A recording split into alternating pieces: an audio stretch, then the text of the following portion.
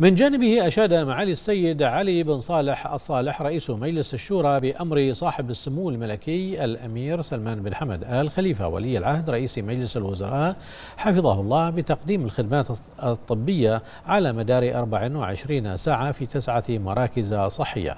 مؤكدا معالي أن هذا الأمر سيعزز الرعاية الصحية المستمرة المقدمة للمواطنين. وقال معاليه إن سمو ولي العهد رئيس مجلس الوزراء حفظه الله يتابع بشكل مستمر احتياجات المواطنين ويحرص سموه على أن ويحرص سموه على أن تكون جميع الخدمات الصحية والطبية متاحة للمواطنين في جميع مناطقهم بما يعزز المسيرة المشرفة والمميزة للمنظومة الصحية بمملكة البحرين.